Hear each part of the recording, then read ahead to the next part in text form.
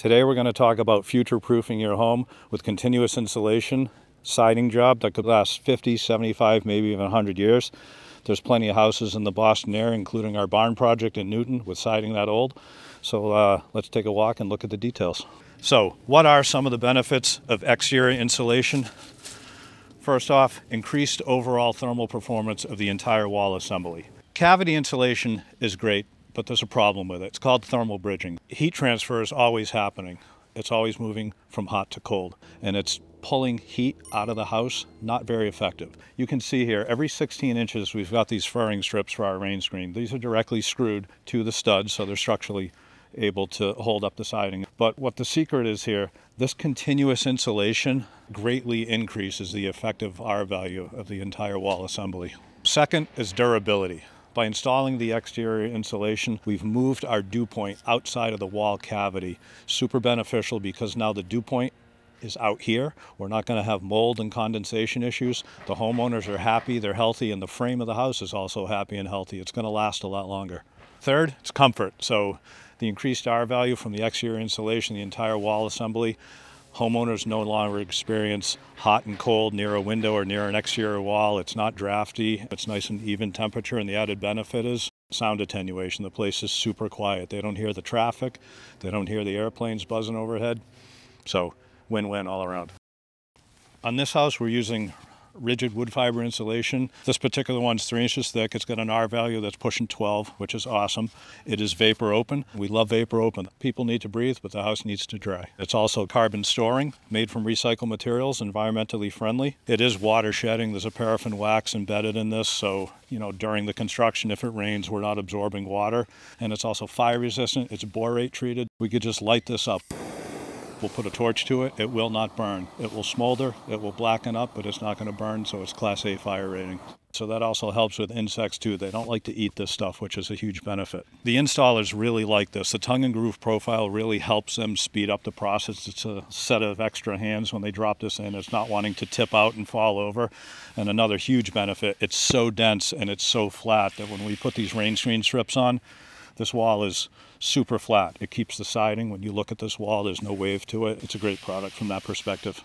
So behind our wood fiber insulation, we've got our WRB. In this case, we've got Henry Blueskin VP100. So this maintains an airtight assembly around the entire perimeter of the house. By having our continuous air control layer behind our exterior insulation, this is solving for 99% of all the potential issues in the entire envelope. So the homeowner's happy and healthy, and so isn't the house, and it's, it's going to last for many years to come. And what we've actually done here is an added benefit is we've got a pressure treated 2x4 in here, ripped to the thickness of the wood fiber insulation. This is for insects and rodents intrusions. So the Blueskin's wrapped right under here, and the homeowner in this particular case does not like mice in his house. So uh, we sorted this out for him, and it works really well. A good siding job starts with a good rain screen, and a good rain screen takes a lot of thought and a lot of planning. So this particular material is SmartSide by LP, and the reason we like to use it, it's just consistent in its thickness and its width, so it makes our siding lay flatter on top of our wood fiber insulation. Moving below that, we do have our core vent artfully disguised under this water table, so there are intake vents there with bug screen. What that's doing, it's allowing the air to come in here so any moisture that's passing through the house, this rain screen allows that to dry and it also helps the siding dry. If any water should get in here, it dries and we maintain the life of the siding.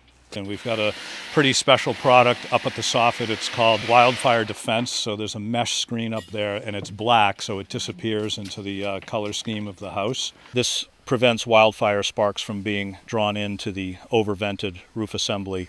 So it's effective and it's aesthetically pleasing. So the icing on the cake here is really the detail. So let's get into the aesthetics and the design. The client and the designer really wanted to make this house look like it was built in 1878, not 1978. So not only the color choices, but the actual details. So we'll start at the bottom. We've got a water table with a cap on it. This is just a little addition here that we wanted to do for a little more protection with this custom bent piece of flashing here. So, and then we've got Claymark siding. This is a great product. It's uh, FSC certified. It's harvested in New Zealand. It's been treated for uh, decay, mold, bugs, all that fun stuff. So great product. We really like it. It's being applied by hand with uh, stainless steel nails. We're not using a gun here. We just like the look better. Another benefit to the natural wood siding, expansion and contraction is greatly reduced as compared to synthetic siding. So that's another benefit here because what would happen typically, although our paint job will last 10 to 12 years, the typical caulking joint at the windows and the corner boards, that's what's going to fail. Three, four years is junk, so it's it's unsightly. So we have decided to tuck these in. We've padded out all our windows and our corner boards, and we've tucked this in. And the added benefit too, it helps with drainage. So as we work our way up, we've got a historic sill that's been applied. You can see the uh, Diamond Light Marvin windows here, which are really in keeping with the uh, overall design of the house. The trim is Boral. It's very, very durable, bug resistant. It holds paint really well. This five quarter stock, the window trim, as well as the corner boards, when we go back and look at this from the street, it gives us a lot of shadowing, so it's in keeping with the designer's intent of making this house look old and having some more chunky uh, design elements in the corners and in the windows. When we padded this out to give us the uh, the improved aesthetic we wanted, it caused a slight issue, but the designer being crafty, along with the homeowner with a keen eye for details, we bent up this piece of flashing. We're tucking this in here to the corner board, so when we're having house guests at the front door, we look, we don't we don't see any of the, the Blueskin. You see nothing but a black inside corner. So so it's all about the details here.